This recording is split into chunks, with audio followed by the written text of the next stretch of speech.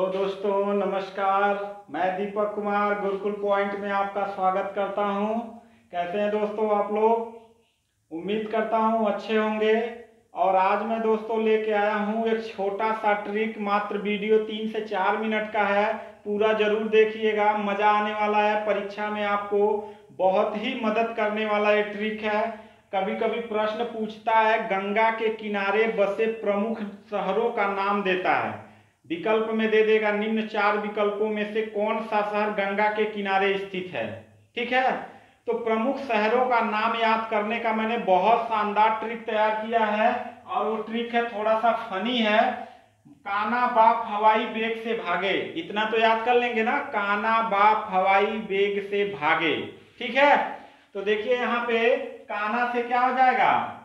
कानपुर कानपुर गंगा नदी के किनारे बसा हुआ शहर है। है कि नहीं? ब से क्या हो जाएगा? बक्सर हो जाएगा। बक्सर कहाँ पे है? बिहार में है, ठीक है? और यहाँ प दिया है तो प से क्या हो जाएगा? पटना हो जाएगा। देखो, ये एक में है, और यहाँ पे दो है, यहाँ पे तीन है, यहाँ पे एक में है, और ये एक में है, ठीक है? तो यहाँ से क्या हो जाएगा? प से पटना हो जाएगा। और ह से ह से आपका क्या हो जाएगा? हरिद्वार हो जाएगा, ठीक है?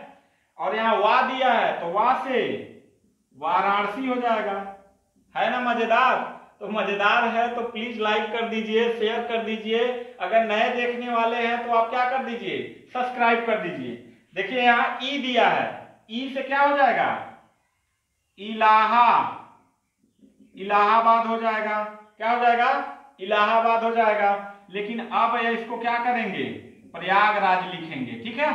इसे इलाहाबाद वेग से क्या हो जाएगा?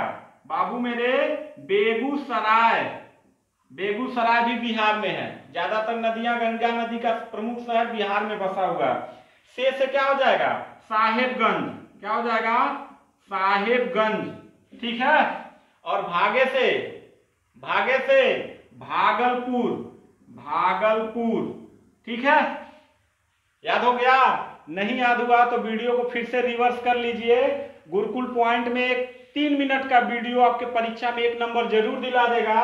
गंगा नदी के किनारे बसे प्रमुख शहरों का शानदार ट्रिक छोटा सा ट्रिक ट्रिक क्या है? काना बाप हवाई वेग से भागे। काना बाप हवाई वेग से भागे। बस इतना याद करना है।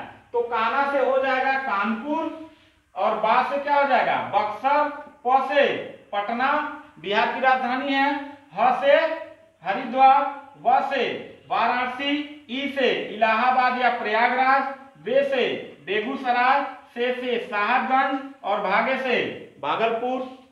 अच्छा है दोस्तों? अच्छा है कमेंट बॉक्स में लिख कर बताइए कि सर वाकई अच्छा है। और अगर आप नए देखने वाले हैं तो चैनल को ज़रूर सब्सक्राइब कर दें लाइक कर दें शेयर कर दें। थैंक यू धन्यवाद।